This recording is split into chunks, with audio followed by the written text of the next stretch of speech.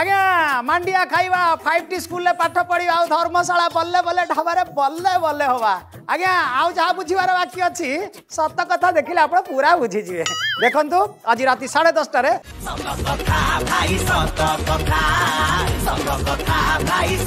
କଥା